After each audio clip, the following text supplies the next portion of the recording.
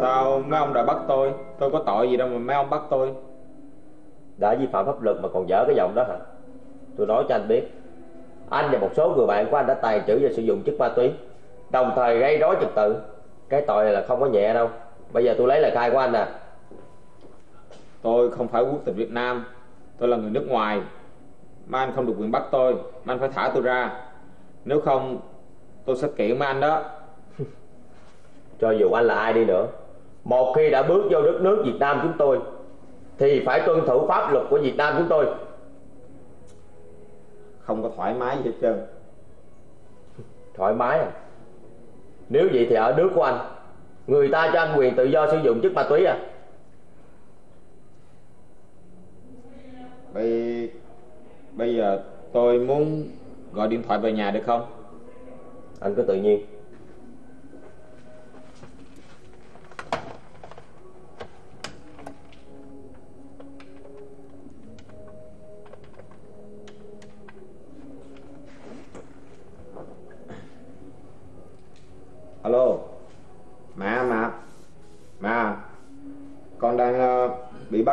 phường. Mẹ Mẹ đừng có cuốn quýt.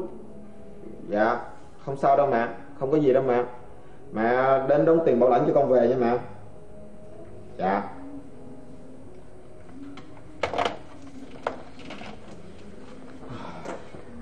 Tôi nói cho anh biết Ở đây chúng tôi không cho quyền đóng tiền bảo lãnh đâu. Và chúng tôi sẽ tạm giam anh đó. Cậu cứ giải quyết thưởng của tôi đi nha Sao mấy ông cứ đòi bắt tôi hoài làm vậy vậy. Có chuyện gì nữa đó? Dạ thưa sếp. Anh ta và một số người bạn của anh ta Đã tàn trữ và sử dụng chất ma túy trái phép Đồng thời còn gây rối trật tự nữa. Đúng là Tôi có theo bạn tôi lên đó chơi Nhưng tôi không phải là người Người cầm đầu. Ai là kẻ cầm đầu sau khi lấy lời khai thì sẽ biết. Nếu biết Nam rắc rối như vậy Tôi đã không theo lời mẹ tôi về đây đâu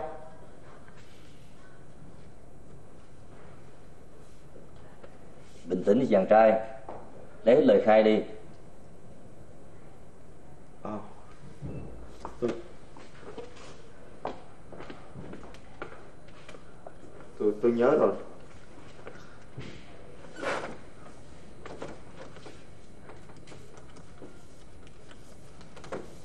Mấy mấy mấy ông cho tôi về đi.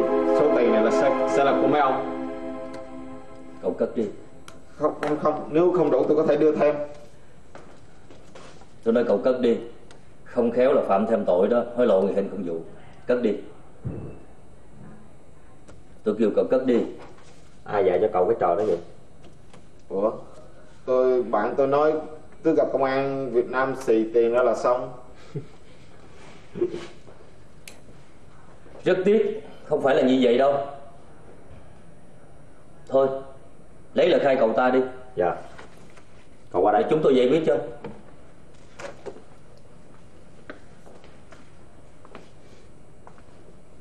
Anh tên gì tôi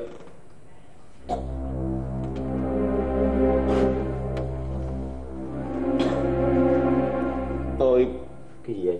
muốn muốn Nè. vào. Nè. Cậu đã dùng thuốc phải không? Vâng. Tôi muốn muốn muốn vào nhà vệ sinh. Đưa cậu ta vào trong đi. Dạ đi theo tôi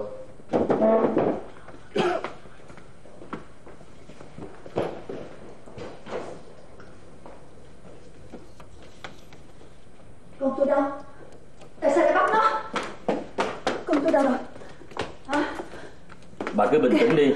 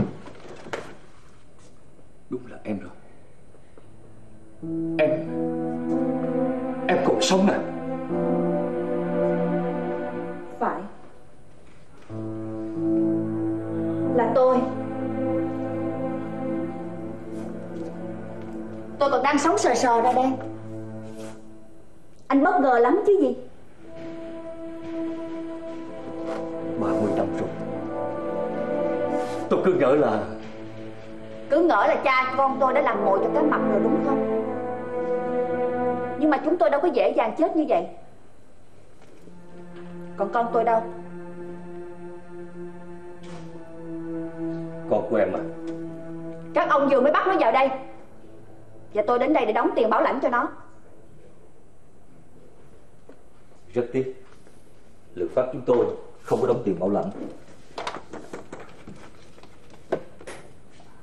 Dì mẹ em cứ yên tâm đi. Sau khi lấy lời khai Nếu không có gì nghiêm trọng đó Chúng tôi cho cô ấy về. Nhưng nếu nghiêm trọng thì sao? Chúng tôi phải tạm giam Chờ ngày ra tòa. Mà nếu cô ấy phạm vào tội Tàn trữ ma túy Có lẽ phải vào tù đó.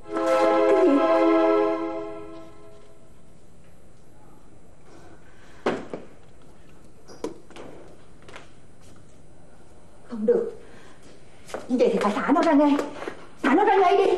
Nó đâu rồi? Anh phải thả nó ra ngay. Rất tiếc Tôi không thể làm được chuyện đó. Cái gì?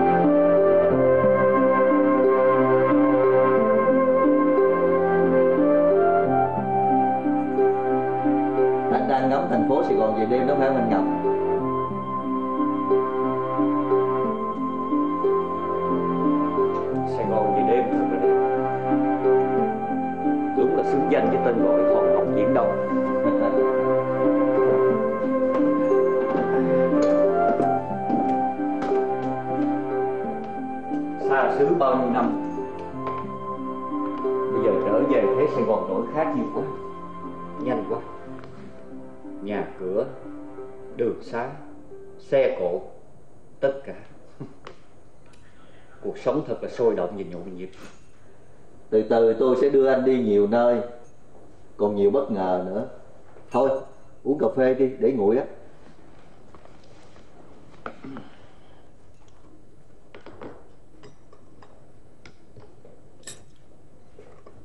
Lâu lắm rồi tôi mới uống lại cà phê Việt Nam đó nghe.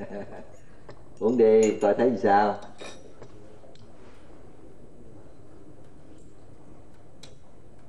ừ. Ừm, Ngon thiệt. Ôi. Lâu quá rồi uống lại. Ngon quá. Ở bên kia đó anh biết không? Tôi uống cà phê họ pha bằng máy. Trời đất ơi nó nhạt thết mà nó chua lòm. Người ta nói ờ, nó giống nước đáy ngựa. Như vậy mà bây giờ mới chịu về. Đất nước mình mở cửa từ lâu rồi Làm sao mà tôi có thể quên được ha? Những ngày đó.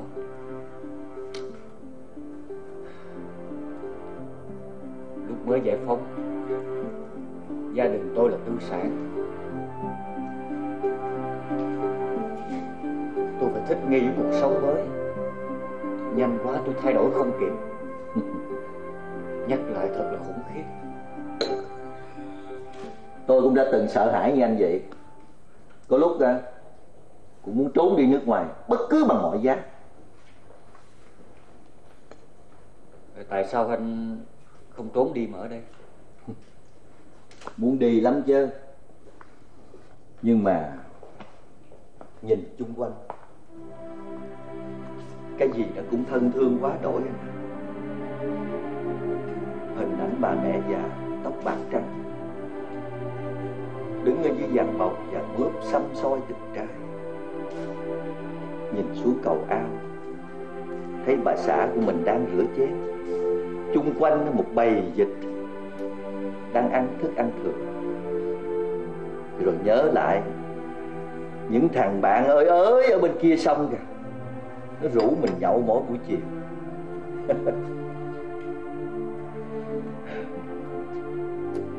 Những hình ảnh đó, tôi không thể bỏ đi được. Tôi ở lại tôi chợt nghĩ, mình đi đâu thì cũng vậy, cũng phải thích nghi với cuộc sống. Tại sao bây giờ mình không thích nghi với sự thay đổi của quê hương của mình? Một thằng trung tá không quân như tôi, từng đi học cải tạo, từng đi kinh tế mới, từng bị chính quyền cách mạng nghi ngờ.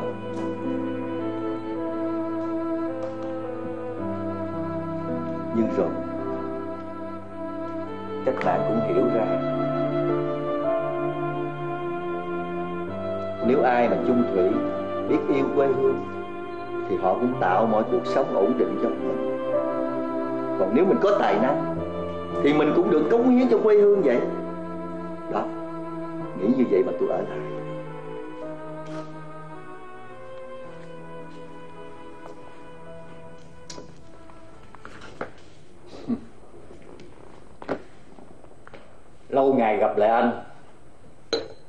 Anh nói như là Một tay cộng sản chính hiệu. Và sự thật là vậy. Nè tôi báo tin mừng cho anh nha. Tôi bây giờ là một nhà doanh nghiệp Chuyên xuất khẩu về cá da trơn nè Rồi tôm cho nước ngoài nữa đó. Vậy à? Anh thử nghĩ coi. Một đất nước á, trong chiến tranh đã từng là một đối đầu của mình. Vậy mà bây giờ là một đối tác làm ăn thật là tốt với mình. À Nè Nếu bao nhiêu năm nay đó Mà anh tích lũy có một số vốn rồi anh về đây đầu tư đi Có cơ hội phát triển lắm đó.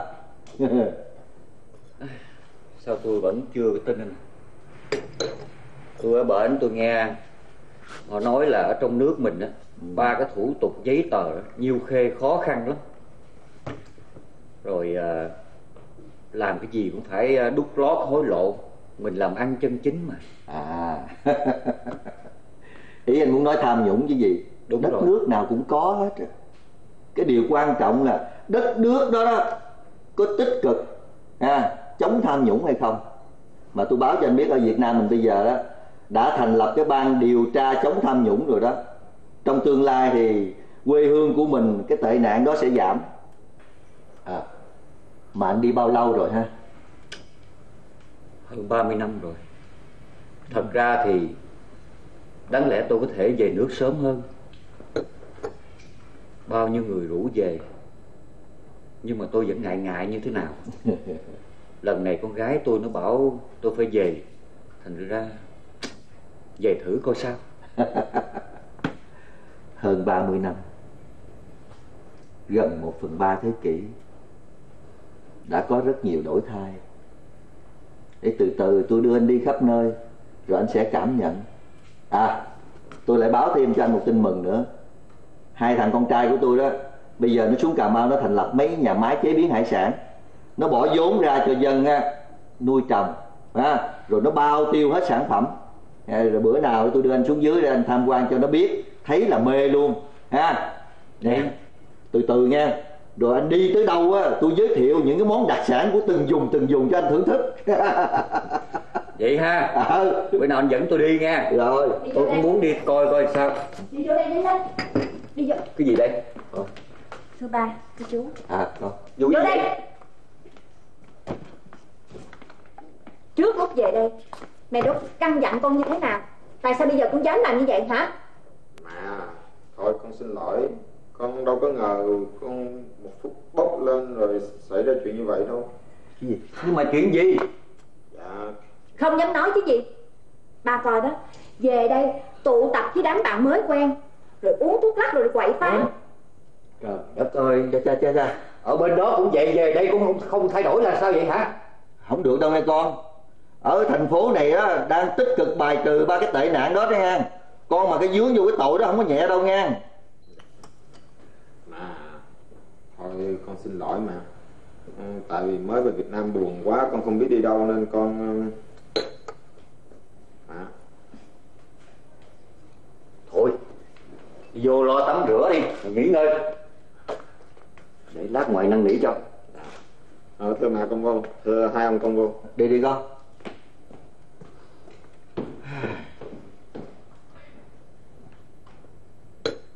Ở thành phố mình bây giờ có một lớp thanh niên hư hỏng. Tối đến là nó tụ tập ăn nhậu phá phách. Nó tiêu tiền của cha mẹ nó như nước vậy đó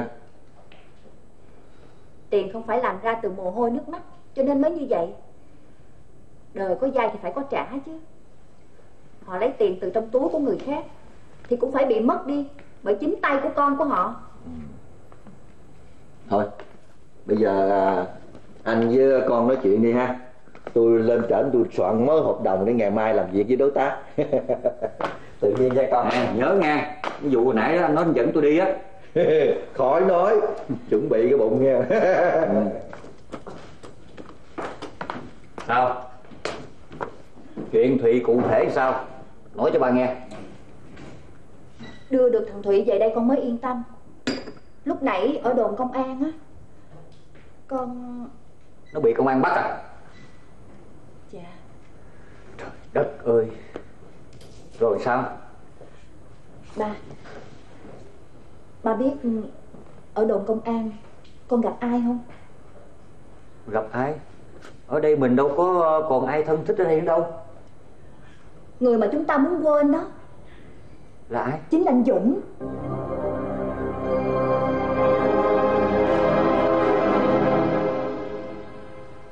Thằng dũng à? Phải. Chính anh ấy ra bắt thằng thụy rồi rồi nó gặp con. Thái độ của nó đối xử với con của nó thì sao? Vì tình thế bắt buộc cho nên con phải nói. Nhưng mà ông ấy sửng sốt đến mức để mặc con đưa thằng thụy đi ba. Nó thả thằng thụy. Không được rồi Chắc có lẽ gia đình mình phải chuyển chỗ ở thôi. Không thể ở đây được nữa Ba yên tâm đi. Thằng Thủy nó cũng chưa có khai gì hết trơn á. Con nghĩ Chắc là ông ấy cũng không biết chúng ta đang ở đâu. Nhưng mà ba vẫn lo. Nó là công an Thì cái chuyện mà nó tìm ra chỗ ở này Quá đơn giản không hề khó đối với nó. Nhưng nếu như ông ấy muốn dở trò Thì thì con cũng không có chịu thua đâu. Đúng là rắc rối Bao nhiêu năm rồi tôi lo sợ cái chuyện này. Bây giờ đã trở thành sự thật. Ủa, thằng này nó dở chứng. Nó lấy quyền làm cha, nó đòi lại con thì sao? Không được. Ba, Nếu ông ấy dám như vậy, Con cũng không ngại gì cùng ra tòa. Nhưng mà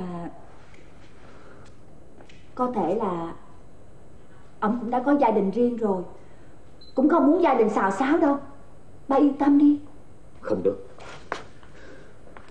Để tránh chuyện xấu có thể xảy ra, Cha con mình Và cả thằng Thùy nữa Phải chuyển chỗ ở thôi.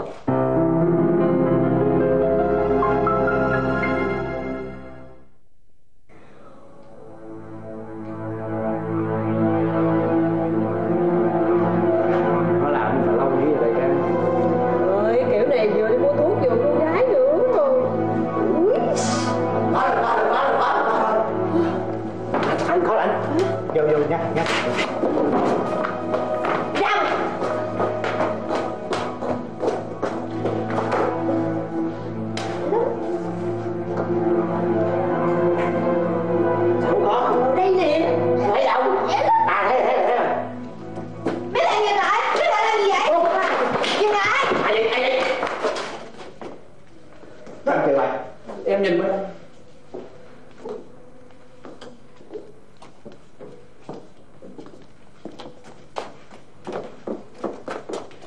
ở đâu ra? À, tụi tôi là là thanh niên tình nguyện á tham gia phong trào phòng chống tệ nạn xã hội. Mà tôi mấy, mấy bạn đừng có hút chích nữa. Hại bản thân mấy bạn mà còn hại đến bạn bè gia đình người thân nữa. Mấy bạn Đến lo đâu? tụi nó đi. Lo tụi nó đi. Tranh thủ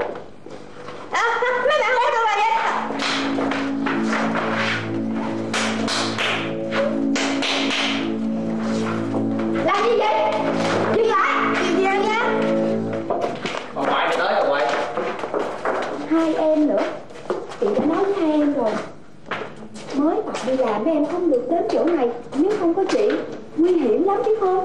Dạ thì em biết rồi. Nhưng mà chị mấy bạn? Thôi thôi thôi được rồi. Bây giờ như là chị nè. Mấy em đem mấy thứ này Tới mấy quán cà phê mấy góc đường bên kia đông người. Mấy em phát cho người ta đi Ở đây để chị làm. Chị ơi nhưng mà mấy bạn này dữ lắm á chị. Chị có cách. Chị, chị cẩn thận nha. Đi đi. Em đi nha chị? Cẩn thận nha chị Tám. Bà làm gì mà thấy tụi tôi hoài vậy. Bà đi chỗ khác được không? Chị muốn nói với các em á Đừng có dùng chung kim. Như vậy dễ lây bệnh. Mấy em biết không? Ơi Lây bệnh thì kịch cha tụi tôi. Xí cho hoài vậy mà rảnh quá ha. Quá lắm là chết gì đâu nó hoài nó hoài mà không mệt hả? Các em nên biết Các em dùng chung kim. Nếu như có em nào bị HIV Các em sẽ lây sang các bạn. Lúc đó Mấy em không cảm giác hối hận hả? Hối hận cái gì? Chơi này mà hối hận cái gì? Điên rồi. Thôi được rồi. Mấy em có bốn người đúng không? Đây nè. Mấy em dùng kim chích mới đi. Ba cái chị ơi? Sao vậy cưng Em hết chứ chưa chết? Mày làm gì vậy Bỏ xuống. Anh chết chứ đâu có hết Bỏ xuống. Bỏ Sao vậy? Bà giỡn tụi tôi hả? Chị chỉ muốn nói Các em đừng làm như vậy. Lây bệnh nguy hiểm lắm. Mạng sống của con người rất quý. Mấy em đừng tự hủy hoại mình. Cuộc đời tụi tôi hết rồi Bà làm ơn mà đừng có rảnh được không? Nếu mấy em không nghĩ đến bản thân Mấy em nghĩ đến gia đình đi. Gia đình các em biết các em như thế này Sẽ rất là buồn. Buồn buồn sợ nhà buồn. Gia đình tụi tôi chết hết rồi. Ê mày nhà tao bao hết còn đầy đủ nha. Có điều lộn gì con tao nữa kìa. Các em nghe chị nói nè Các em còn nhỏ lắm. Chẳng lẽ các em sống lây lất như thế này hoài sao? Nghe lời chị đi Đi cai nghiện đi Chị sẽ giúp các em Chị. À, Chị nói rồi em hiểu hết rồi. À, Cái tay chị đẹp đó Chị cho em mượn chút xíu được không? Hả? Bà đi. À, con chữ chứ sao? Chị biết em sẽ không làm như vậy đâu. Nếu như mà em có ý định đó Em đã chích vào tay chị từ rất lâu rồi đúng không? Chích bà liền bây giờ á.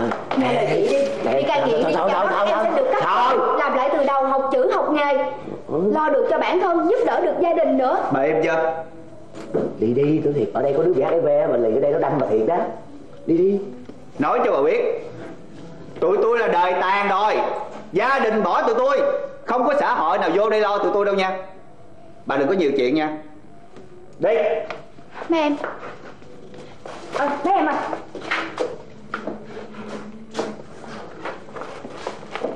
Đây nè Mấy em giữ Cứ tìm hiểu Khi nào mấy em cần Mấy em cứ tìm gặp chị Chị sẽ giúp đỡ các em.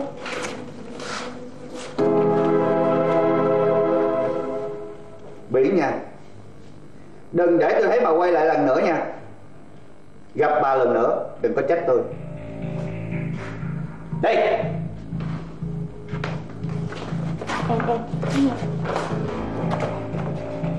Em giữ Em đưa cho mấy bạn đi. Đây nè. Nhớ Đừng có thích trung kim nha. Em hết không có chết. Thiệt. Bà, bà này con cũng hiểu gì hết trơn á trời ơi. Lúc mà tới cơn nghiện nó rồi á chung không chung thì nó cũng chết hết trơn. Nhớ lời chị đó. Đừng có chích trung kim nha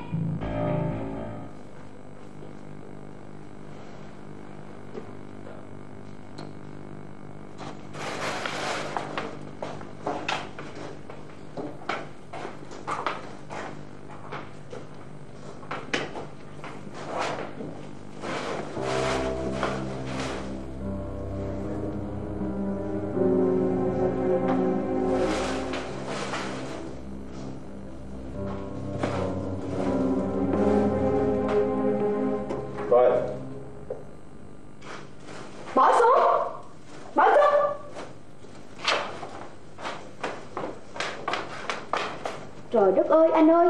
Ông chích Bỏ xuống. Tôi Sao anh không có đeo găng tay như tôi? Anh biết anh làm như vậy nguy hiểm lắm không? Ờ, tại ờ, tôi thấy tôi cầm ở cái đít. Nó, nó đâu có nhọn. Anh ơi Nếu như kim chích này á, của những bệnh nhân bị HIV Rồi rủi trầy xước vô tay anh chảy máu Anh cũng bị nhiễm bệnh thì sao? À, cái đó tôi biết rồi ừ. Nhưng mà dù sao cũng cảm ơn anh. À không có chi. À, nãy giờ à, tôi đứng ở đây. Tôi à, thấy cô à, nói chuyện với lại mấy cái người kia. Phải công nhận cô gan lì dũng cảm. Tôi mà gan hả? Thì tôi thấy cô nói chuyện với mấy người đó mà cô không sợ. Người ta đòi đâm cô chích cô à, Tôi làm riết nên tôi bình tĩnh. À vậy hả à, xin lỗi tôi hỏi cái này. Ừm, chắc cô làm công việc này lương cao dữ lắm. Không tôi làm không có lương. À, Tôi làm vì tôi tình nguyện. À, tình yêu tình cảm tình nguyện. Nhìn anh á là tôi biết anh không phải ở đây đúng không? À, đúng rồi. À, tôi ở ở đằng xa và đây đi du lịch. Vậy là từ nước ngoài về. Ừ, vâng. Hèn chi. Ừm, Tình nguyện. Volunteer à yeah I see. Yeah. Thật ra thành phố của chúng tôi có rất nhiều thanh niên tình nguyện giống như tôi vậy. Anh đừng có ngưỡng mộ tôi nghe À, cô nói ở thành phố có nhiều người như cô. Tiếc quá. À, từ lúc về đến giờ tôi chỉ gặp à, những người khác cô họ cũng rủ tôi đi à, ăn chơi quậy phá. Không không có giống như cô. Đó chỉ là một thiểu số thôi. Còn họ cứ nghĩ á, cuộc sống như vậy á, là sành điệu. Nhưng theo tôi nghĩ á, cuộc sống sành điệu là mình phải biến cuộc sống của mình trở nên ý nghĩa hơn. Dạ cô nói chuyện nghe hay quá. À, tôi nghe thích tôi tên là Giang. À, à xin uh, chào cô Giang. Tôi là Vị vui lắm biết cô. À. anh biết đó thật ra thành phố của chúng tôi đang vào chiến dịch để uh, uh, bài trừ uh, ma túy mại dâm. Nếu như mà thanh niên chúng tôi á, không tham gia vào á, thì ai sẽ tham gia đây?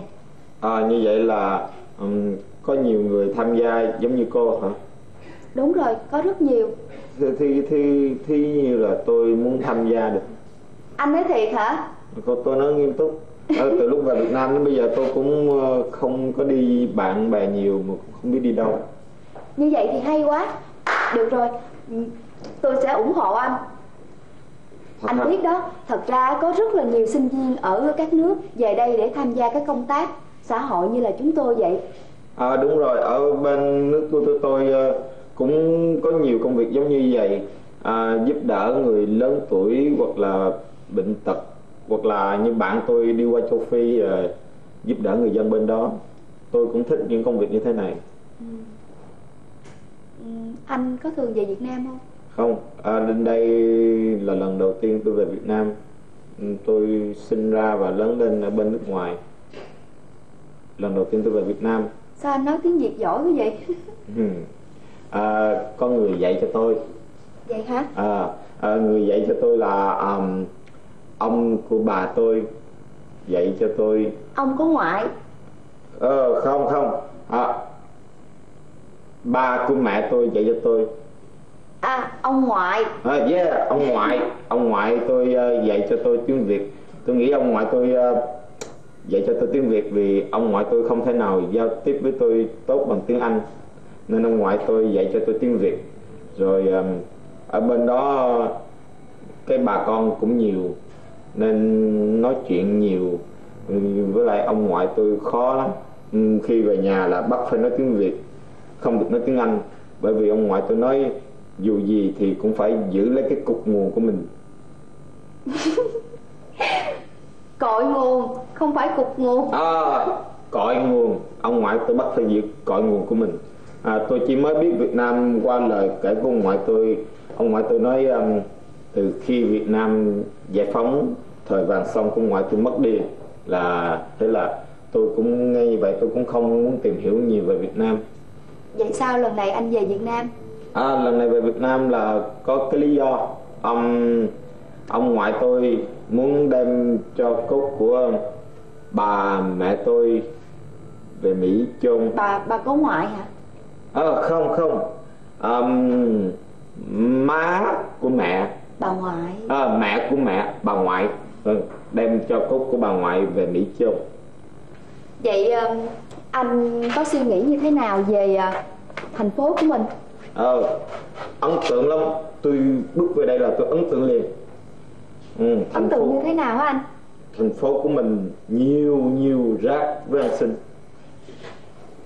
thật tôi tôi thấy ờ, ở đây sướng lắm người ta được xả rác ngoài đường thoải mái. Nhiều người xả nhiều kiểu nhiều cách. Ừm, rồi ăn xin cũng nhiều. Hôm trước tôi với ông ngoại tôi ờ, đi chùa thấy người ta kéo nhau đi ăn xin nhiều lắm. Giống như chơi rồng rắn lên mây. Thật ra anh biết đó.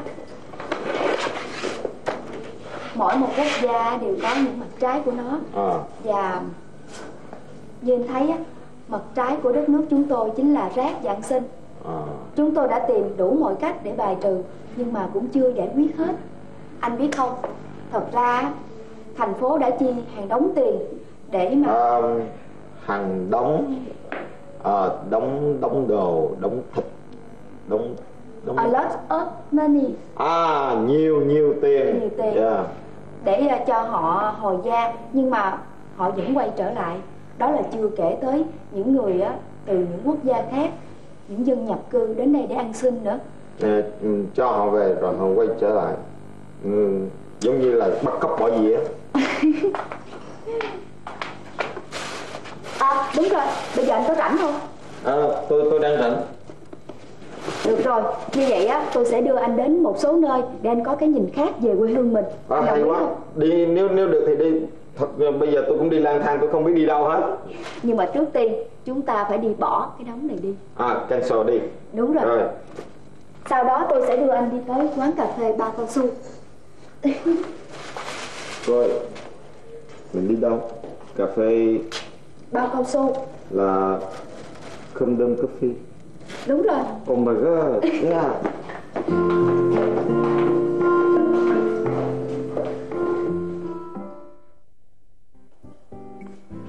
Ờ, à, Anh mệt không? ờ, không. Anh là đàn ông mà anh không có mệt. Nhưng mà từ vì đứng ngoài nắng tham gia điều khiển giao thông nhiều quá mệt. Em biết không? Vui lắm. Đây là lần đầu tiên trong đời anh được ờ, tham gia điều khiển giao thông á. Anh biết không, thải lỏng người dân bấy lâu nay á, cho nên ý thức của họ rất là kém. Nên khi tụi em á, thực hiện chiến dịch này là để cho người dân tham gia vào thì phải tôn trọng luật giao thông. à Có cái câu chuyện này này nha, một diễn viên đóng vai 007 khi mà đến Việt Nam thấy người dân Việt Nam mình chạy xe, ông ta còn phải nói một câu, rồi công nhận người Việt Nam gan dạ, dũng cảm, lái xe như vậy, ngay cả 007 á, cũng còn không dám nữa. à, à anh biết rồi tại vì à, người ta chạy tùm lum. Nhưng mà anh đứng tham gia điều khiển giao thông bây giờ anh thấy quen rồi. Thí dụ người ta chạy thì mình né đi thôi đâu có gì đâu. À, nhưng mà à, phải công nhận em với lại à, mấy người bạn của em làm được nhiều việc có cái ý nghĩa. À, đây coi anh nhớ chiến dịch mùa hè xanh thanh niên tình nguyện rồi à, cà phê à, bao cao su. Rồi à, à, đi tư vấn cho S rồi tình dục an toàn phải nói thật à, về được đến đây anh mới được sống lại cái thời sinh viên hồi xưa sôi nổi như vậy á ừ. Nếu như mà anh thích á, thì em sẽ còn đưa anh tham gia nhiều hoạt động hơn nữa. cứ cho anh đi hết đi anh thích anh thích lắm Bây giờ nè, em thấy anh mệt rồi, vô trong rửa mặt đi. à Ra, á, cái em sẽ dắt anh đi ăn buffet gánh. à buffet gánh Ừ. Thôi, anh thích lắm anh thích lắm buffet gánh là là ờ, buffet là, là giống như là người ta gánh đồ ăn đi rồi mình chạy theo mình gấp hả Không phải. Cái tên như vậy thôi, chứ thật ra đây là một nét văn hóa ẩm thực của nước mình à, đó. vậy hả Dạ. thôi được rồi bây giờ bây, bây giờ anh vào anh rửa mặt rồi mình đi liền đi ha Ừ. cho nó vui à, à, ở chỗ nào cái vệ sinh Anh đi thẳng rồi về phải. rồi cảm ơn em nhớ nha anh ra mình đi liền ha Ô, Ba, con gái Sao nay về sớm vậy con? con về rồi là con đi liền đó Vậy hả? Ba ăn cơm bụi nghe Ừ, hôm nay ba nhiều việc lắm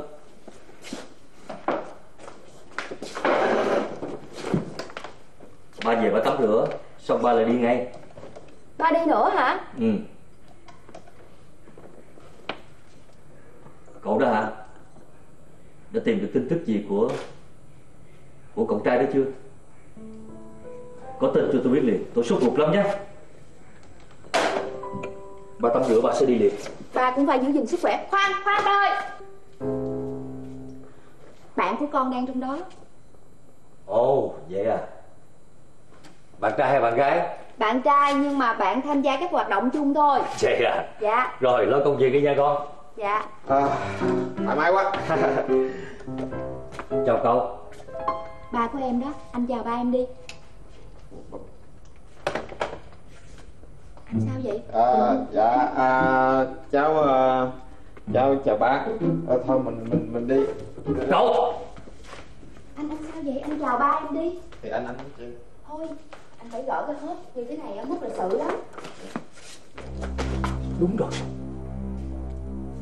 cháu bị bụi Đúng là cậu rồi Tôi Tôi tìm cậu mấy ngày hôm nay Ủa?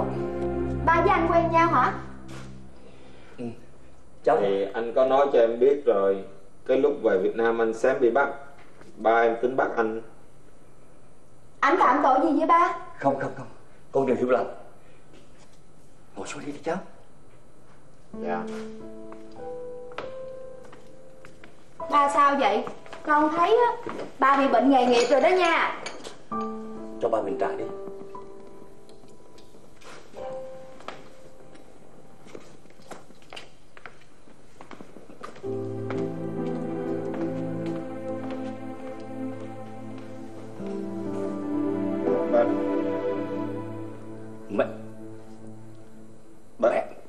cháu khỏe không? Sao sao bác lại muốn bắt mẹ cháu? Mẹ mẹ cháu đâu có làm phạm tội gì nên tại tại sao bác lại muốn, muốn bắt mẹ cháu? Không không không đừng đừng hiểu lầm. Cháu về đây có Có ông ngoại về không? Bác muốn bắt ông ngoại cháu nữa hả? Ờ, bác ơi không, ông ngoại cháu lớn tuổi rồi nhưng mà ông ngoại cháu không có tội gì hết. Nếu bác muốn bắt thì bắt cháu thôi. Tại sao bác muốn bắt Không không phải vậy đâu. Ờ, Cháu với mẹ cháu ở đâu? Ờ, ở nhà. Bác muốn hỏi là địa chỉ ở đâu? Có có thể cho bác biết được không?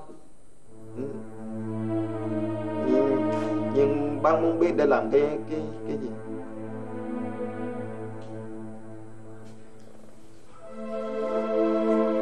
Bác Bác với Bác với mẹ cháu? Là bạn. À Bác với mẹ cháu là bạn. Hèn chi cháu cũng thắc mắc bữa giờ. Cháu không hiểu tại sao mẹ cháu có thể vào chỗ công an rồi dẫn cháu cháu về cháu về dễ dàng. À, Như vậy là bác với mẹ cháu là bạn nên bác Dạ. Mấy chục năm rồi. Ờ, Mấy chục năm rồi Cháu biết ờ, người Việt Nam mình thân thiện lắm Nhưng mà nãy giờ mình nhiều quá. Bác ờ, Bác xin cháu là cho bác gặp mẹ cháu. Thực ra giữa giữa bác với mẹ cháu có có nhiều vấn đề lắm Chỉ có thể gặp nhau thì thì có thể giải quyết hết những mâu thuẫn. Nhưng mà cháu chưa bao giờ nghe mẹ cháu nói là có bạn làm công an ở Việt Nam Còn nhiều vấn đề cháu chưa biết lắm. Nhưng Bác nhưng, nhưng, bác muốn rằng Chính mẹ của cháu sẽ giải thích cho cháu hiểu. Hứa với bác nha Nhưng mà mẹ cháu khó lắm. Cháu phải xin phép mẹ cháu trước chứ. Không giúp cho bác. Cho bác biết địa chỉ Hứa với bác chứ. Bác Bác bình tĩnh đi bác có sao không? Cháu hứa với bác nha. Ừ, thôi được rồi. Cháu sẽ cố gắng sắp xếp. Nhưng cháu không hứa trước đâu. Cháu sẽ cố gắng hết sức thôi.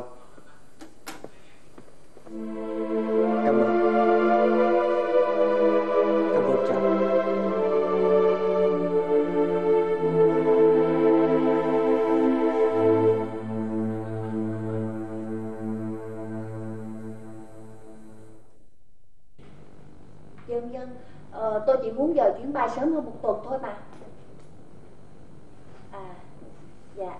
Ờ, Làm phiền cô trả lời sớm sớm giùm tôi nhé. Dạ dạ cảm ơn.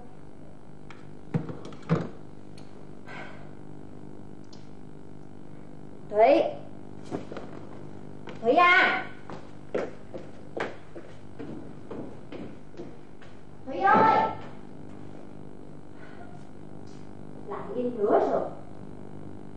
Không biết làm cái gì mà ngày nào cũng đi. Ở bên này có bạn bè nhiều đâu. Không biết ở nhà mẹ lo lắng như thế nào hết. Cứ suốt ngày.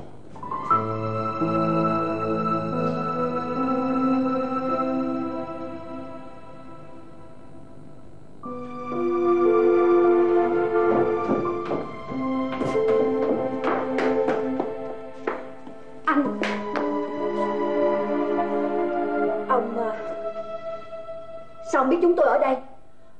Ông điều tra chúng tôi à? Ông Ông muốn cái gì? Hả? Sao em nghĩ về anh như vậy? Em bình tĩnh đi. Chính thằng Thùy nó cho anh biết địa chỉ ở đây. Cái gì? Thằng Thủy. Ông nói dối. Nhưng mà Đó là sự thật đó tại sao ông gặp nó? Rồi ông tìm nó với ý đồ gì? Hả?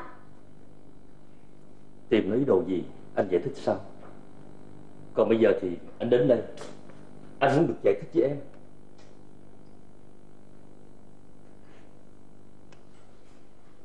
Giữa tôi với anh thì Không có chuyện gì để nói nữa hết.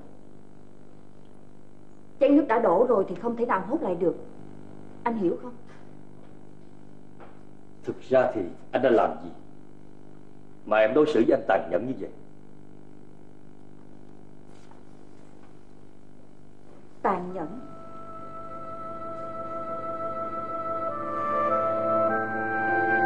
Tàn nhẫn sao bằng anh? Một kẻ không có trái tim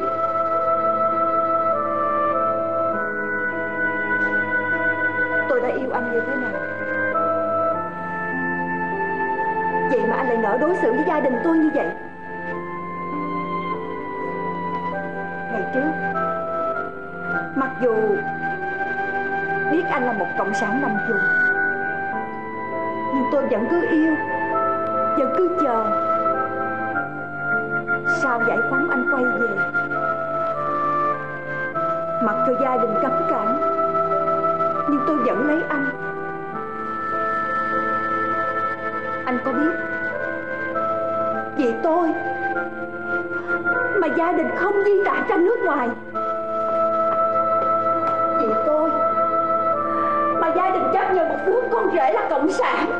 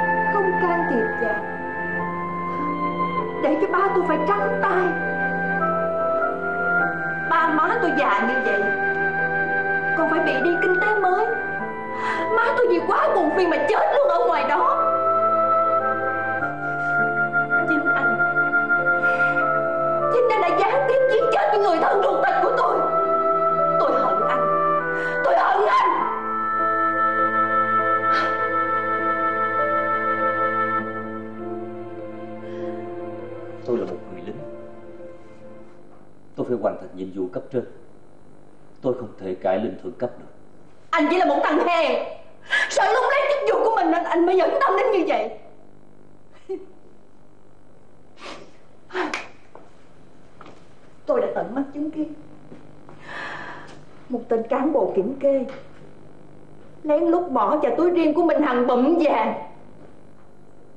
Vậy mà khi ba tôi nhờ anh giấu một số tài sản Thì anh lại lạnh lùng từ chối. Anh Anh là một loài động vật của máu lạnh. Cô!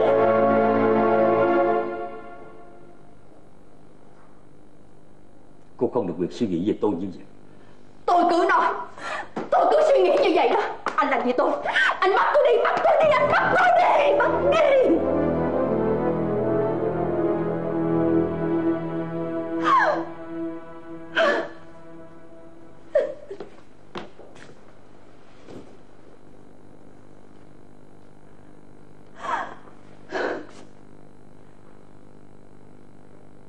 Ngày em ra đi. Em lặng lặng không nói một lời nào với tôi hết. Tôi đi tìm em phát điên lên được. Không một đêm nào, Tôi không nghĩ về em. Suốt bao nhiêu năm qua, Tôi luôn hy vọng được gặp em Để giải thích cho em hiểu.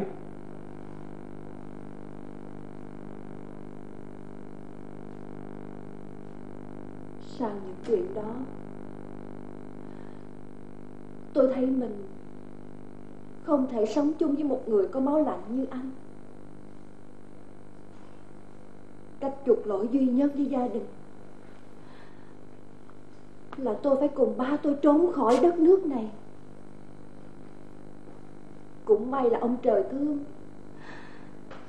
Cho nên chuyến đi được bình yên. Và tôi đã hạ sanh thần thủy ở trên đảo. Tại sao? Tại sao em không cho tôi biết chuyện này? Nó là con của tôi anh không xứng đáng với nó. Chuyện đã xảy ra 30 năm rồi? Anh nghĩ là nó cũng phải nguôi ngoai đi chứ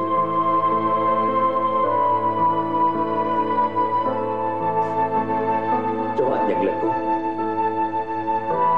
Bao nhiêu năm rồi? Anh chỉ hy vọng là có ngày gặp lại em. Và một ngày nào đó, Em sẽ hồi tâm đổi ý. Nhưng mà thật lòng là Anh Anh vẫn thấy mình không có lỗi. Không phải lỗi của anh, Thì là lỗi của ai?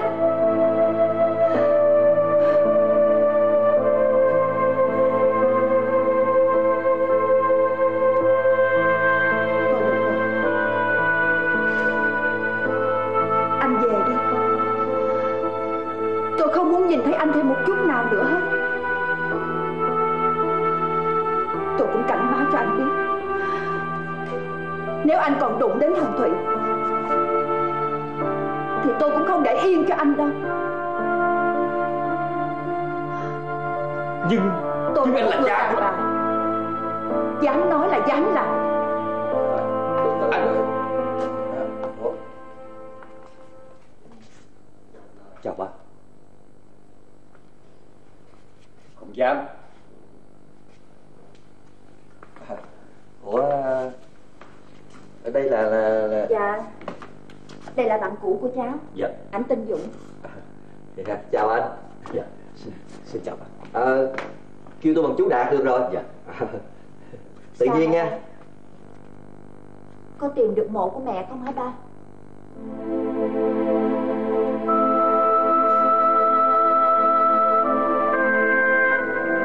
Bà ơi. Bà chết rồi cũng còn khổ hay sao bà Tôi biết tìm bà ở đâu bây giờ. Bà chết cũng không được màu yên mã đẹp nữa. Cái nghĩa trang đó được giải tỏa lâu rồi. Lúc đó thì ở địa phương cũng thông báo trên đài rồi đăng báo để cho thân nhân đến lấy hài cốt. Gia đình con ở nước ngoài cho nên không biết tin. Bác xin lỗi là bác cũng sơ sót. Không đâu ạ. Thật ra là con đã biết tin. Con đã đem hài cốt của mẹ đi hỏa táng, Hiện gửi trong chùa để thờ. Bác cứ yên tâm.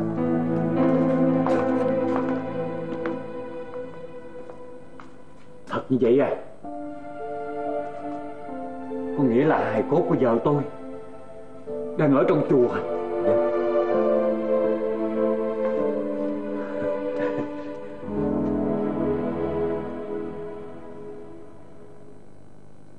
Cảm ơn cậu.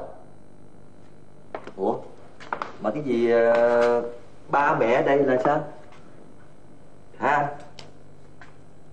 Đến nước này Tôi không giấu anh nữa. Đây là con thằng rể quý hóa của tôi đó. Ờ, vậy thì tốt quá. Ờ, thì, thì bây giờ bây giờ mình có cái gì mà khúc mắc ở trong lòng đó mình giải tỏa ra hết đi. Nói hết ra cho, cho nó vui vẻ Coi như mọi chuyện cũng đã xong hết rồi. Cảm ơn anh. Cũng không chuyện gì để nói nữa hết đâu. Anh cứ đi đi. Giúp mà Bà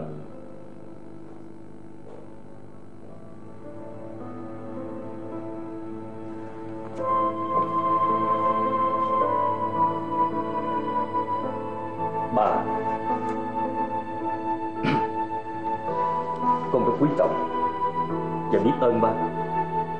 Đã gả trước cho con. Chuyện cũ, Con không ép ba, Mà đó là chính sách. Con chỉ thừa hành thôi. Thực ra bất cứ chế độ nào Thì cũng chính sách và cơ chế của nó. Và cũng không chắc chính sách nào là tốt nhất cả. Có thể, Việc để tư sản ngày xưa là một sai lầm. Nhưng hoàn cảnh lúc đó không thể làm cách nào khác hơn hết. Sau này Nhà nước có trả lại Một số tài sản Cho một số người.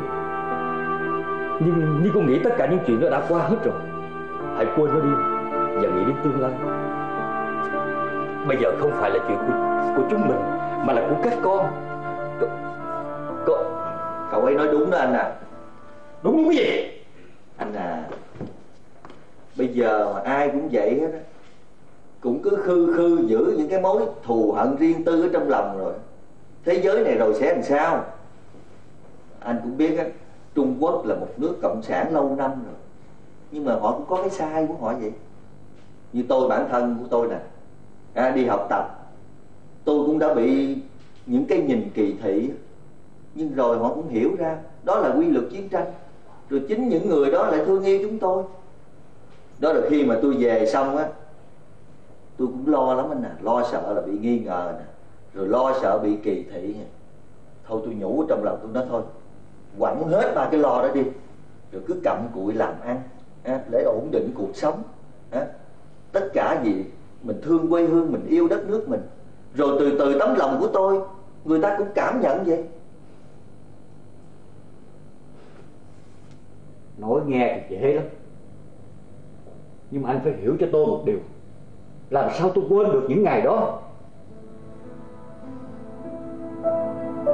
Gia đình vượt biên Chịu bao nhiêu khổ ải Qua đến đó, Qua đến bên Mỹ, tôi 50 tuổi rồi. Trắng tay tôi phải làm lại từ đầu, Anh có hiểu không? Càng nghĩ tôi càng đau. Có thể là chúng tôi không còn hận anh nữa. Nhưng để trở lại như xưa thì Chuyện đó không có đâu. Anh cứ coi như là Chưa gặp lại chúng tôi Cũng chẳng biết gì hết. Thôi Anh cứ về Hạnh phúc với cuộc sống gia đình riêng của anh đi Nha. Nhưng Ủa? Sao nay nhà mình đông đủ quá vậy? Ba Con- Ba cũng ở đây hả? Ừ. Con gái của anh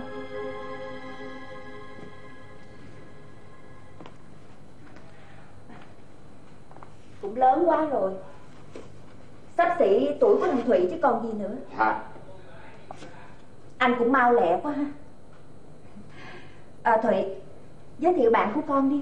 Dạ Đây là Giang Bạn của con. Cổ tốt lắm mẹ à, Mấy hôm nay mẹ cứ thấy con ờ, Đi suốt là con đi ờ, hoạt động từ thiện, từ thiện với cổ Làm công tác xã hội đó mẹ. Anh quá lời thôi Con đâu có giúp đỡ gì ảnh đâu.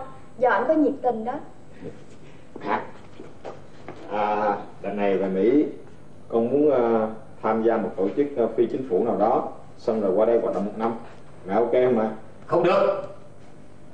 Con làm vậy rồi công việc làm ăn bên đó. Rồi con để cho ai? Hả? Dạ ông đừng có lo. Con sẽ ờ, xin nghỉ không ăn lương. Con muốn đợt này Con phải làm được cái gì đó Có ý nghĩa cho cuộc đời của con. Hai em. Ờ, như vậy là tốt đó Đất. Sao vậy? Hả? Con không được nghe người ta số bậy hiểu chưa? Nghe lời ông nghe lời mẹ. Đủ rồi. Ông ngoại sao vậy? Anh à anh đừng có rầy la đó. Nó có những suy nghĩ như vậy là tốt lắm đó. Nó cũng biết phân định cái việc nào nên làm và không nên làm chứ phải không con? Anh biết cái gì? Gia đình tôi để tôi giải quyết. Mẹ Rồi một năm đó Con dự định sẽ làm cái gì? Con với Giang Còn nhiều ấp ủ muốn làm lắm Nhiều việc muốn làm. Ừ, Cũng không có gì đâu mẹ. Ừ, Chủ yếu cũng là công tác ờ, xã hội thôi. Rồi con nghĩ là ông cũng nên tham gia. Nó có lợi cho sức khỏe của ông Có lợi cho tuổi già của ông. Nhiều khi ông cũng bớt cao có đi. Thằng này nói đúng nè. Đó thanh niên bây giờ mà suy nghĩ như con vậy là tốt nha chứ không thôi mà xa vô ba cái vụ hút chích là chết luôn á. Dạ. Con biết mà. Ờ, với lại anh cũng muốn cho thằng ờ, cháu ngoại của anh nó nên người đúng không anh? Hả? Ông bình tĩnh đi có chuyện gì đâu ông. Bác. Ừ. Bác à, giải quyết chuyện với à, mâu thuẫn với mẹ cháu xong chưa? Ủa Ờ, ba đi. Ba cũng biết bác gái nữa hả? Chuyện này ba giải thích với con sao? Tiếp nè. Chuyện đó để khi khác nói. Còn bây giờ thì à, Hai cha con anh về đi. Ủa? Mẹ. Mẹ với bác có chuyện gì vậy? Chuyện của người lớn. Con hỏi làm cái gì? Hả? Mẹ à Con lớn rồi mà. Con Con mà con Thôi được rồi. Em cứ từ từ Bình tĩnh rồi suy nghĩ lại Xin phép bác. Xin. Chào bác. Mình về con. Dạ. Con chào cả nhà. Khoan đây. Không sao đâu. Nè Ngày mai mình gặp lại nha. Điểm hẹn cũ ha. Có được không anh? Không sao đâu. Ở điểm hẹn cũ Cà phê bao cao su ha? Nhớ Vậy. nha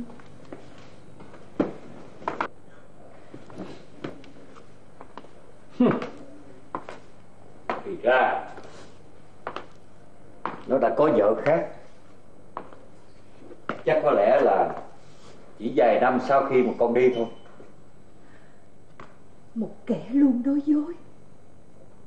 Ủa? Ông với mẹ Đang nói về bác Dũng hả? Dũng Dũng thì sao? Hả? Còn con Tại sao vậy? Tại sao dám chỉ nhà cho ông ta? Tại vì còn quan hệ với con gái của ông nữa mà đâu có chuyện vì gì đâu. Tại vì con thấy bác ấy năn nỉ tội nghiệp quá Nên con không nỡ. Với lại uh, Mẹ Con nghĩ là Nếu mẹ với bác ấy có chuyện gì mâu thuẫn Hay là cái gì đó thì Cũng nên bỏ qua đi. Uhm, Để trong bụng không có tốt. Mấy bữa nay chắc nhờ đi nhiều Mà con học được nhiều việc cũng hay. Là mẹ phải sống mở lòng mẹ ra Thì mẹ mới đón nhận lại được những cái khác. Mẹ mới cảm thấy thoải mái được. Cái thằng này giỏi đó nói vậy nghe được đó. Anh biết cái gì? Nghe ông ngoại nói nè. Dạ. Ông ngoại cấm. Từ nay sắp tới không được quan hệ tiếp xúc với con nhỏ đó nữa. Cụ thể là cái gia đình đó. Con hiểu chưa? Trong thời gian ngắn nhất phải thu xếp cùng ông ngoại với mẹ. Trở về mỹ Nhưng mà con không về được Con còn nhiều việc phải làm ở đây. Con thì có việc gì ở đây mà giải quyết Mà làm? Con với Giang định ờ, Cái gì? Tại sao lúc nào cũng gian gian gian hết vậy? Vậy còn con Thu thì sao? Nó vừa mới gọi điện cho mẹ. Nó muốn con trở về sớm Để con tính chuyện đám cưới nữa. Con không hiểu nổi mẹ. Ở bên á, ở bên bển thì mẹ cứ bắt là một hai con phải về đây. Mẹ nói là mọi thời gian còn dài Rồi còn thời gian thông thả giải quyết. Rồi bây giờ mẹ nói ngược lại hết tất cả. Nhưng mà bây giờ mẹ cấm. Mẹ không muốn con ở đây thêm một ngày nào nữa hết. Con hiểu không? Thôi được rồi. Nếu mẹ muốn về thì mẹ với ông về trước Con về sau. Không được. Phải về ngay. Không được ở đây nữa. Thật ra con không hiểu gì hết. Con chỉ có cảm giác là ông và mẹ Đang giấu câu chuyện gì đó Mẹ à, Có chuyện gì vậy? Con lớn rồi con cần được biết. Mẹ Nói cho con nghe đi mẹ Ông Nói cho con nghe đi ông. Sự thật đó là cái gì? Con cần được cái sự thật. Ở đây không có sự thật gì hết. Con hiểu chưa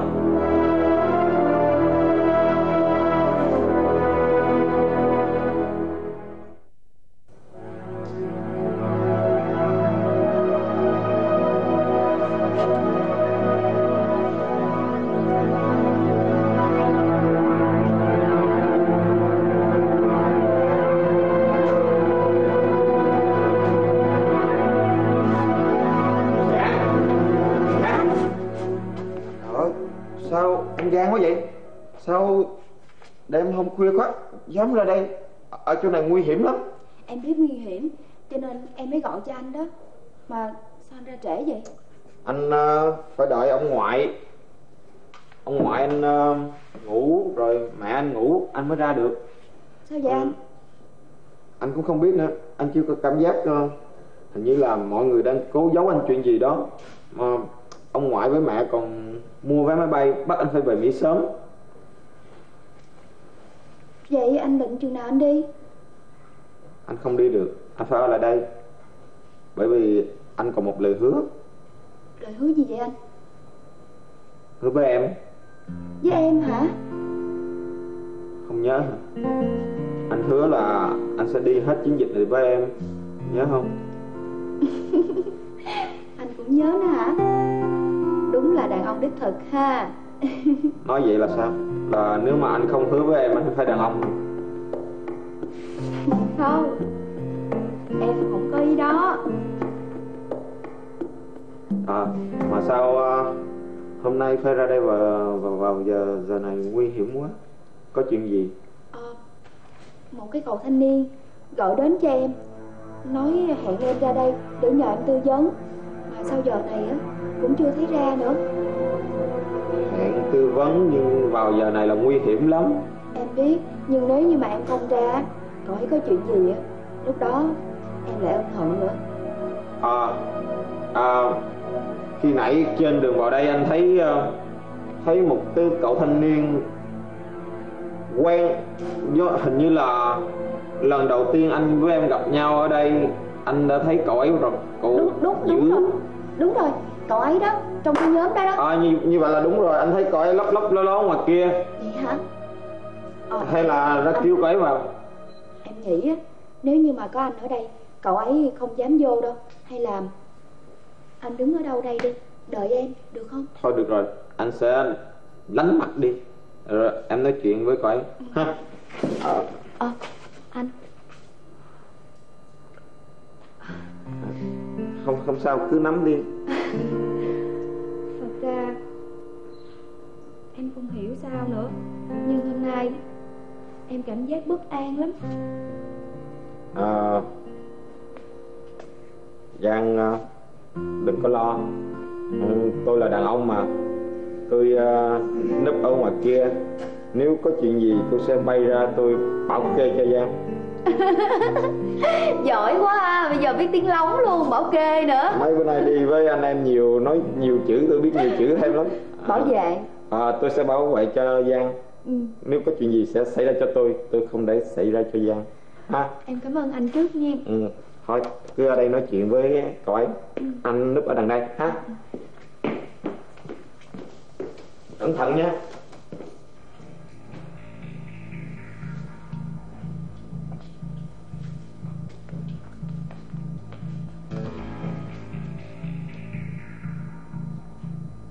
chị? Chị đợi em có lâu không chị? Không chị cũng mới tới à chị đi một mình hả? Ờ chị đi một mình. Sao em tới trễ vậy? À chị ơi. Có chuyện gì hả em? À chị ơi. Chị giúp em. Chị đưa em một triệu rưỡi được không chị? Một triệu rưỡi? Là tiền gì? Chị biết không? Từ lúc chị đến đây á chị khuyên can mấy con nghiện của em đi đi đi cai nghiện hết rồi. Rồi một phần là chị lại chỉ nói lãm nhảm hoài cái mấy người mua thuốc của em họ bỏ đi hết rồi. Bây giờ chị em túng quá chị phải đưa em một triệu rưỡi nhanh đi chị. Em ơi thật sự ra chị không có tiền. Chứ không phải hôm nay em hẹn chị ra đây là để tư vấn hả? Hôm nay chị ra đây không phải là chị tư vấn em đâu mà là em tư vấn chị. Trời ơi cái gì vậy? cái gì ra.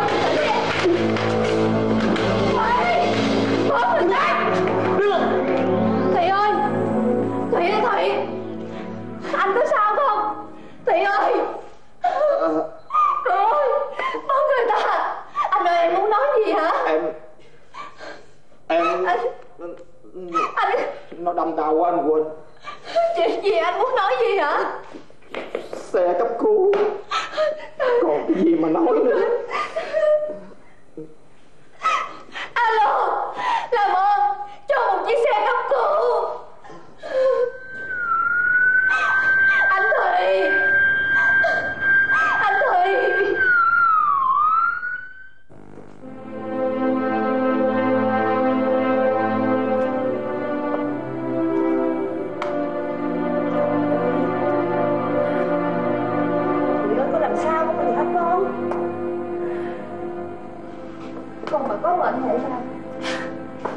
mà sống được đây.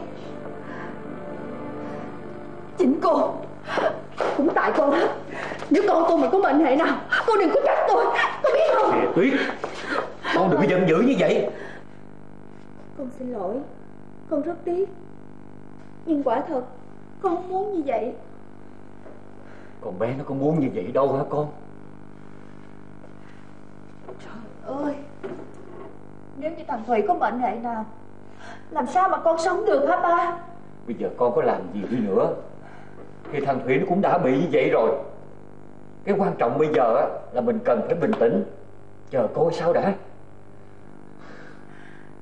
Ba tin là Thằng Thủy nó còn trẻ. Nó có sức nó sẽ vượt qua được. Ai là người nhà của bệnh nhân Trần Khang Thụy à, Là tôi Là tôi. Làm sao? Con tôi có làm sao không hả cô? Bệnh nhân mất khá nhiều máu Bác sĩ đã phẫu thuật và truyền 4 đơn vị máu Nhưng vẫn không đủ. Bây giờ nhóm máu O của bệnh nhân cần á, Thì bệnh viện đã hết rồi. Người nhà cần chuẩn bị để tiếp máu cho bệnh nhân.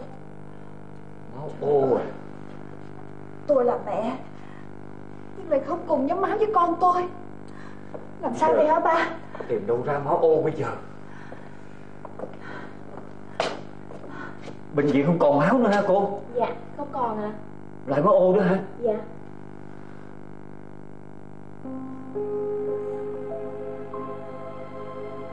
Tôi sẵn sàng giúp anh Thụy Nhưng mà tôi nhóm máu A. Rất tiếc bệnh nhân đang cần nhóm máu O. Nội dối. Tại sao cô lại là nhóm máu A? Phải là nhóm máu O mới đúng chứ. Bác ơi bác bình tĩnh đi. Thật ra con rất muốn giúp anh Thủy Nhưng tại sao con phải cùng chung nhóm máu với anh ấy? Thật sự con nhóm máu A. Nói dối. Con nói thật. Con nói dối. Con nói dối. Giang nói thật Giang không cùng máu với Thủy Là vì Giang là con nuôi của tôi.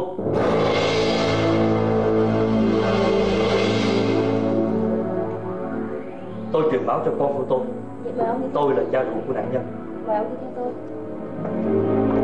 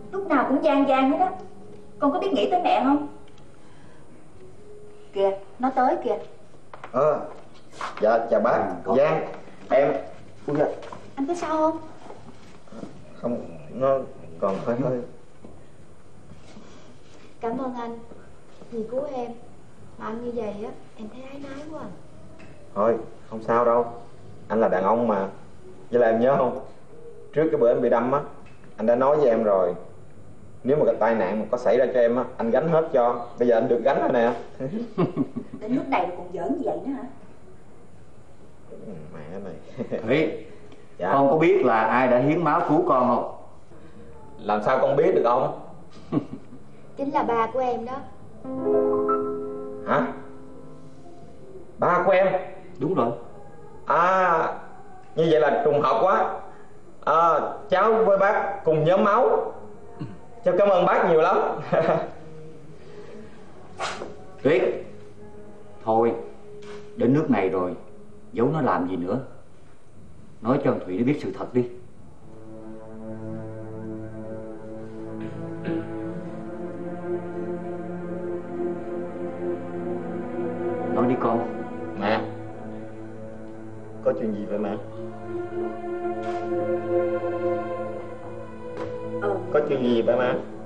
Nói cho con biết đi mẹ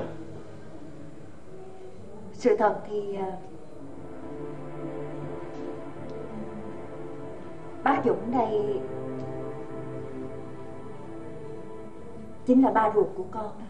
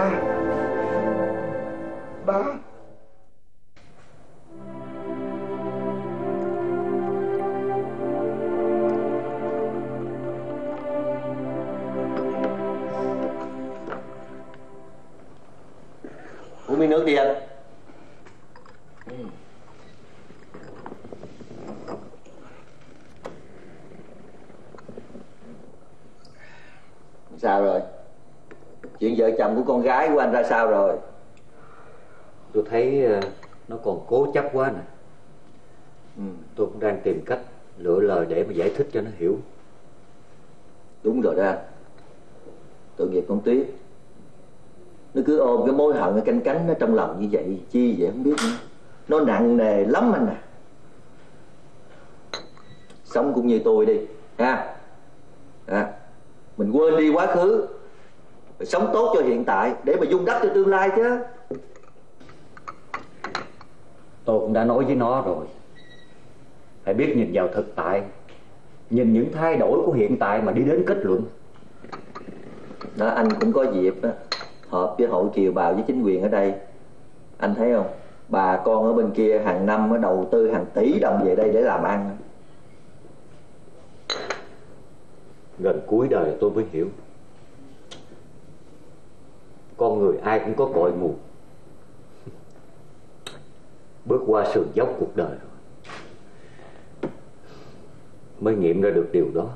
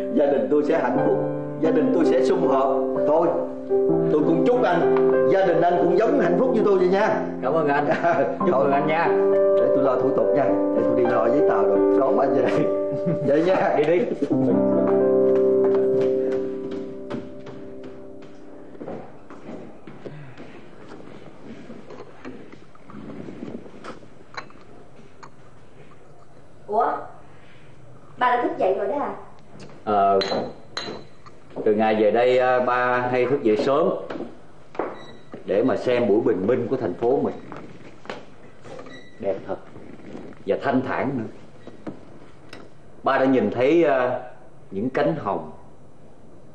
Mới đây thôi còn rực rỡ còn đẹp đẽ. Vậy mà bây giờ nó úa tàn. Nhưng mà không sao. Bên cạnh nó có những nụ mới nở sẽ hứa hẹn những bông hoa đẹp và rực rỡ trong tương lai. Ba định nói ý gì đây? Ba muốn nói đến quy luật của cuộc sống. Cái cũ rồi sẽ qua đi và cái mới sẽ được đón nhận, sẽ xuất hiện.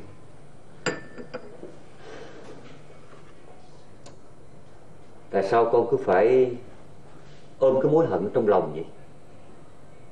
Con mang cái gánh nặng như vậy,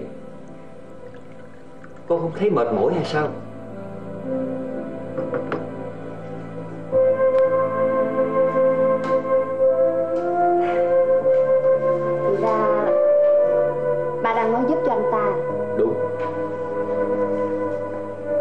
Bà đã thấy chúng ta sai Khi trách thằng Dũng.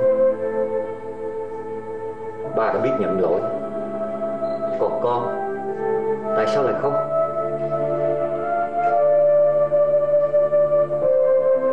Tại vì ba quá rộng lượng. Bà hiểu tính cách thằng Dũng. Con người nó là như vậy đó con. Con Giang nó có nói chính ba ruột con Giang Ngày xưa là bạn chiến đấu với thằng Dũng. Giàu sanh ra tử. Vậy mà, Khi hòa bình lặp lại, Ba con Giang Lợi dụng chức vụ Tham ô mốc ngoặt ăn hối lộ, Để rồi bị chính tay thằng Dũng bắt, Đưa vào tù. Nếu như ngày đó thằng Dũng nó không bắt ba con Giang, Thì không biết Ba con Giang sẽ còn sai lầm như thế nào? Khi mẹ con Giang mất, Chính tay thằng Dũng Đem con Giang về nuôi nấng dạy dỗ, Cho đến ngày nó trưởng thành khôn lớn. Làm đàn ông như vậy Thì quá tốt còn gì nữa.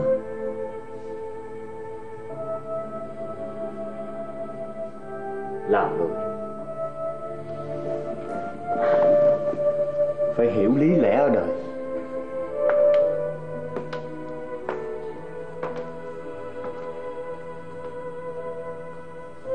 Ngày xưa sống, Bây giờ không hẳn là như vậy.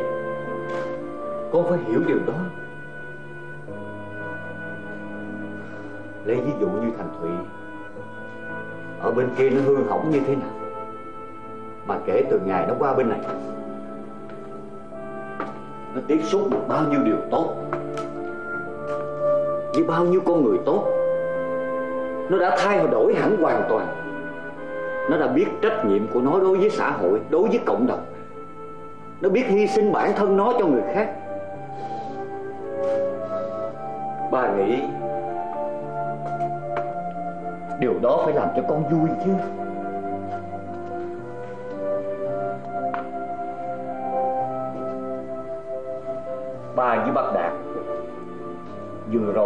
Có có một buổi họp Việt Kiều với lại ủy ban dân thành phố. Ba thấy họ trân trọng mình lắm. Con có biết không? Hàng năm Việt Kiều họ đổ về đây đầu tư hàng tỷ đô la. Sống như cha con mình là quá lạc hậu đó con à. Ngay cả hai nước Việt Mỹ trong quá khứ đối đầu nhau, thậm chí là kẻ thù của nhau, mà bây giờ đã bình thường quá quan hệ rồi con không thấy sao? Tại sao con không biết tha thứ chồng con? Vậy bây giờ con phải làm sao đây?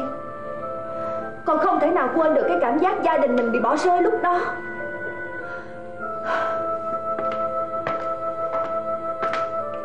Tuyết à Ba hiểu. Ba hiểu Con hận chồng con Vì tự ái. Con nghĩ là Con đã hy sinh hết cho nó trong khi nó không hề hy sinh cho con chứ gì. Nhưng mà con phải hiểu, Con Giang nó nói đúng. Thằng Dũng nó phải tuân theo lệnh cấp trên, Bởi vì nó là một quân nhân. Ngày xưa nếu như nó bao che cho gia đình mình, Có nghĩa là Nó phản bội lại lý tưởng của nó mà nó theo đuổi.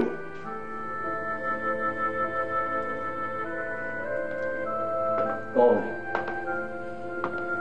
Cha con mình ngày xưa quá uất hận mà mù quáng Để rồi không tha thứ cho nó. Nhưng ba nghĩ, Con làm điều đó để được gì? Con hận nó để được gì Trong khi con mất chồng, Thằng Thủy nó mất cha? Con thấy hành động đó có xứng đáng hay không? Bà ơi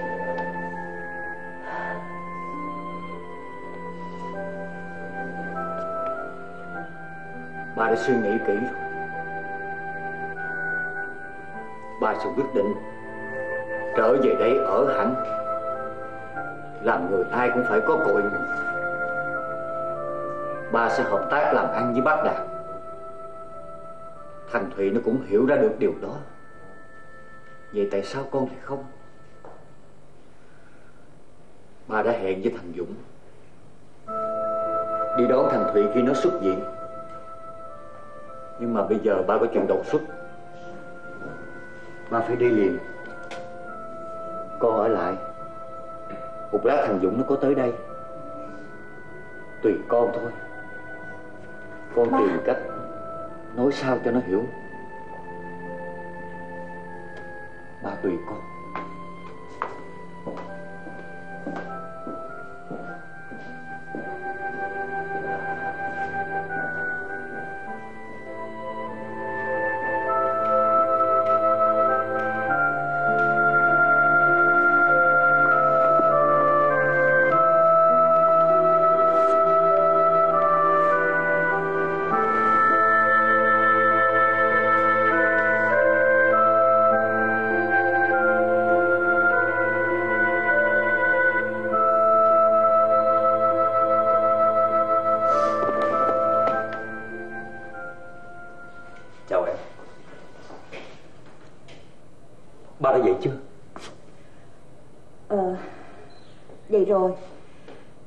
nói là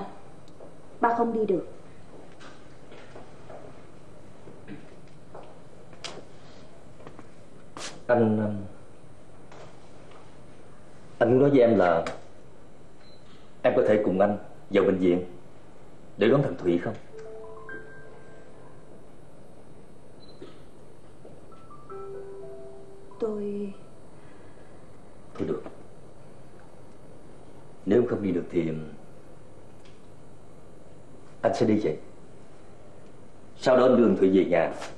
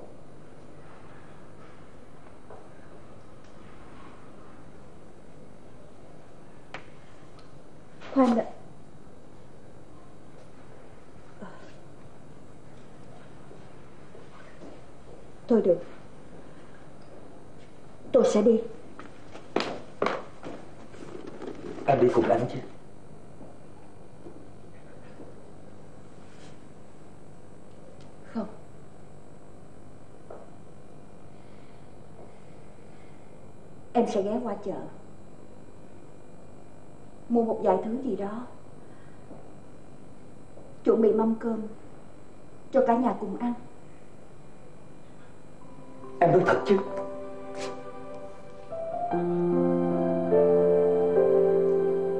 Anh không muốn như vậy sao?